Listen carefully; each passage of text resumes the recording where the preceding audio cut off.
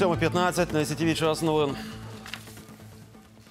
Сьогодні вночі оприлюднили ім'я військового, який в понеділок загинув на Донбасі. Це Василь Кравченко, 26-річний десантник із Ізяслава.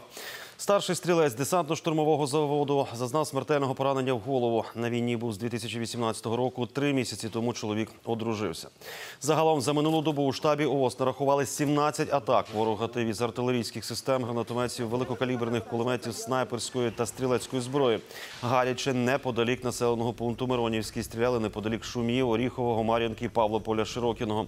В штабі операції повідомляють про одного пораненого бійця. Припинити обстріли вдалося лише після відповіді наших армійців. Сьогодні вранці бойовики поки не стріляли. У працівника Шевченківського суду столиці виявили коронавірус. Приміщення готують до проведення дезінфекції. Співробітників, які контактували з хворим, відправили на самоізоляцію. Суд працює у звичайному режимі. У Чернівецькій області вже повідомили про 31 випадок зараження коронавірусом за минулу добу. Загальні цифри в регіонах будуть відомі сьогодні о 9 ранку. Тим часом на Рівненщині відновили роботу бібліотеки, щоправда, з нововведеннями. Тепер книжки, що повертатимуть читачі, проходитимуть карантин тривалістю 4 дні. Іспанський регіон Каталонія знову живе в умовах поновленого карантину. Його повернули, коли кількість нових захворювань різко підскочила до майже тисячі випадків на добу. В регіоні знову запровадили режим Залишайся вдома. Наступний крок примусова ізоляція, але до неї поки не дійшло. Нині ж заборонено збиратися групам по 10 осіб. Бари та ресторани відчинені, але працюють лише на половину потужності з дистанцією між столиками не менше як 2 метри. Так, ми боїмося вірусу, але й занепокоєні наслідками для бізнесу. Нині комерційна діяльність на мінімумі. Туристи не приїздять. Місцеві теж дебільшого не можуть виїхати через карантин. А якщо місто закриють повністю, так ми боїмося за своє майбутнє.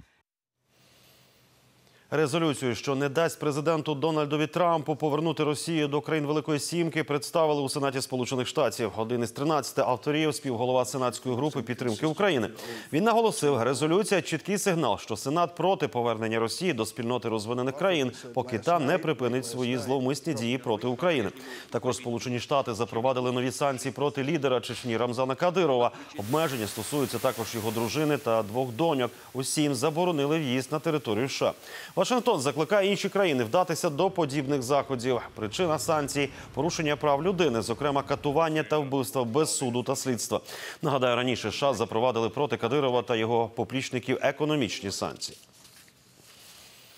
Вадим Пристайко, новий посол України у Великобританії. Відповідний указ президента напередодні опублікували на офіційному сайті. Раніше Пристайко обіймав посаду віце-прем'єра з питань європейської та євроатлантичної інтеграції України. А до цього був міністром закордонних справ в уряді Олексія Гончарука. СБУ викрила посадовців, яких підозрюють у незаконній вирубці державного лісу майже на півтора мільйона гривень. Серед них керівник одного з лісгоспів Вінницької області та двоє його підлеглих. За інформацією слідства, вони налагодили вирубування дерев цінних порід, яке не вносили до бази даних, а потім продавали невраховану деревину. Під час обшуків правоохоронці вилучили документацію та чорні записи, докази у протиправній діяльності. Наразі посадовцям мають оголосити підозру.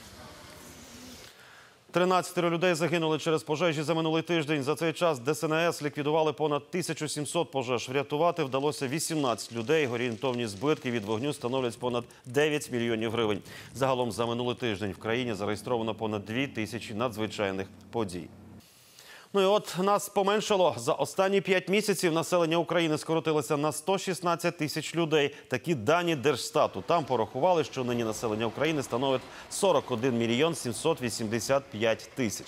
Кількість померлих суттєво перевищує народжених. На 100 померлих 48 новонароджених. Нагадаю, в січні урядовці порахували, що українців трохи більше ніж 37 мільйонів. Тоді це зробили за допомогою онлайн-інструментів, а саме даних мобільних операторів, інформації з реєстрів зрадців та пенсійного фонду.